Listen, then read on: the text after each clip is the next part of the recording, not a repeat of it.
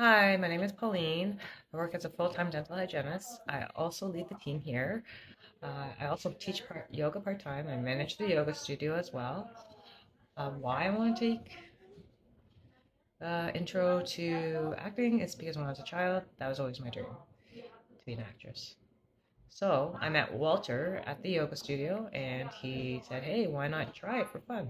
So that's why I'm here. Beginner, let's see what it has to offer.